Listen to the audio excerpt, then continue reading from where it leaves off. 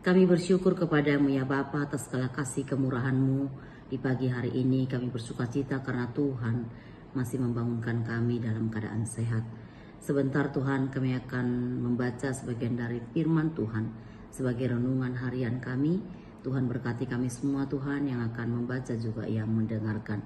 Bila firman pagi hari ini benar-benar menguatkan kami dan memberkati kami semua. Segala puji hormat kami naikkan kepadamu Bapa. Dalam nama Yesus kami berdoa dan bersyukur. Amin. Shalom, selamat pagi Bapak Ibu yang dikasihi Tuhan. Firman Tuhan yang menjadi renungan harian kita di hari ini terambil dari Matius pasalnya yang ke-13 ayatnya yang ke-13. Itulah sebabnya aku berkata-kata dalam perumpamaan kepada mereka, karena sekalipun melihat, mereka tidak melihat, dan sekalipun mendengar, mereka tidak mendengar dan tidak mengerti. Itulah pembacaan firman Tuhan, di mana ini adalah uh, sebenarnya perumpamaan tentang seorang penabur di mana firman Tuhan itu setiap saat ditaburkan oleh hamba-hamba Tuhan. Begitu juga di saat ini yang kita baca di Matius. Tetapi memang firman itu didengarkan oleh jemaat Tuhan. Tetapi terkadang hanya berlalu begitu saja. Itulah disebabkan makanya ada firman Tuhan mengatakan bahwa bibit atau firman Tuhan yang ditabur itu jatuh ke tempat-tempat yang berbeda. Sebagai kita sebagai umat Tuhan yang mendengarkan kebenaran firman Tuhan, kita terkadang menanggapi dan menerima kebenaran firman itu dengan sesuatu hal yang berbeda-beda. Seperti dikatakan di Matius di pasal 13 yang ayat-ayat yang pertama yang uh, pertama dikatakan itu bahwa bibit uh, yang ditabur itu itu bisa jatuh, ada yang jatuh di pinggir jalan, lalu ada datang burung, lalu memakannya, ya sudah selesai sampai di situ. Ada juga yang jatuh di tanah yang berbatu-batu, lalu dia juga akan terhimpit karena ada tanah sedikit. Di batu-batu itu tanahnya sedikit sementara ada sinar matahari yang terus uh, panas uh, yang mengenai bibit itu sehingga bibit itu pun tidak bisa bertumbuh dan mati juga. Dan ada juga yang jatuh uh, di semak duri. Lalu semakin besarlah semak duri itu dan pada akhirnya mati juga. Tetapi yang terakhir dikatakan penabur itu bibit yang terakhir itu jatuh di tempat di tanah yang baik, di tanah yang subur sehingga dia boleh bertumbuh dan berbuah. Demikianlah firman Tuhan hari ini yang diajarkan kepada kita supaya kiranya firman itu yang kita dengarkan itu boleh benar-benar bertumbuh dan akhirnya bisa berbuah. Dan firman Tuhan ini memang terkadang sulit untuk kita laksanakan atau kita pahami karena memang firman Tuhan ini uh, sebagai kita orang-orang percaya terkadang uh, berat juga orang untuk mendengarkan. Tapi pada saat orang mendengar uh, mereka hanya mendengarkan saja lalu seperti yang diumpamakan Tuhan Yesus tadi di dalam uh, ayat firman Tuhan itu seperti penabur yang menaburkan benih itu tetapi jatuhnya di tempat yang berbeda-beda dan hasilnya juga pasti akan berbeda-beda.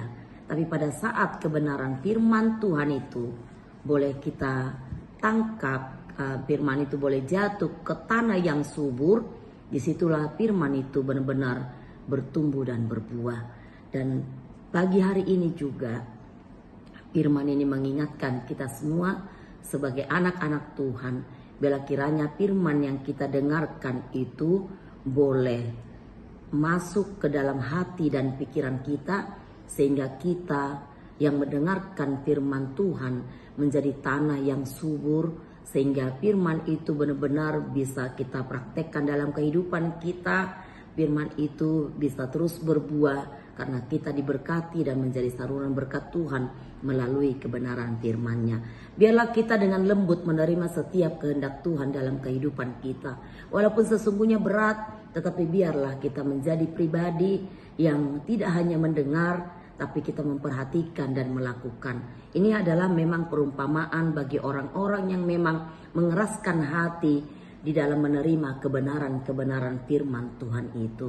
Dan pagi hari ini kita bersyukur melalui firman Tuhan kita kembali diingatkan supaya kita boleh mendengarkan firman Tuhan itu dengan sungguh-sungguh sehingga kehendak Tuhan itu bisa keterima dengan kelembutan hati dan kebenaran itu boleh ada dalam setiap kehidupan orang-orang percaya.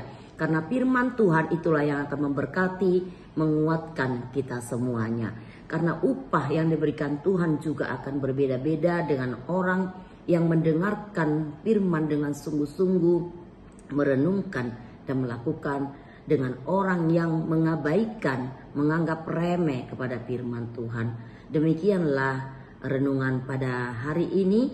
Biarlah kita semua boleh dikuatkan melalui kebenaran firman Tuhan. Karena saya percaya bahwa kita semua jemaat Tuhan yang mendengarkan adalah orang-orang atau pribadi-pribadi yang sungguh-sungguh menjadi tanah yang subur dan tanah yang baik di dalam menerima setiap kebenaran firman. Kita semua dikuatkan dan diberkati. Terpujilah nama Tuhan atas segala kebenarannya dalam kehidupan kita pagi hari ini. Amin. Mari kita berdoa. Kami bersyukur buat kebenaran firman-Mu Tuhan. Biarlah Tuhan memberkati setiap kami yang sudah mendengarkan supaya kebenaran firman ini Bapa boleh menguatkan kami, memberkati kami dan biarlah kami Bapa dalam situasi apa pun kiranya kami boleh sungguh-sungguh mendengarkan kebenaran-Mu sehingga kami mampu melakukan kehendak-Mu dalam setiap kehidupan kami. Kami percaya Bapa bahwa kebenaran firman akan selalu menguatkan kami dan mengajari kami sehingga kami boleh tahu apa yang salah dan mana yang benar.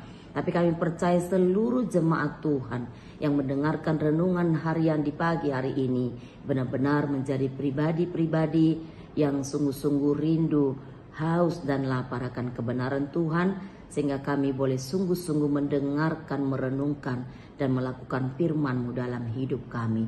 Dalam nama Yesus kami berdoa dan bersyukur. Amin. Bapa kami yang di surga, dikuduskanlah namamu.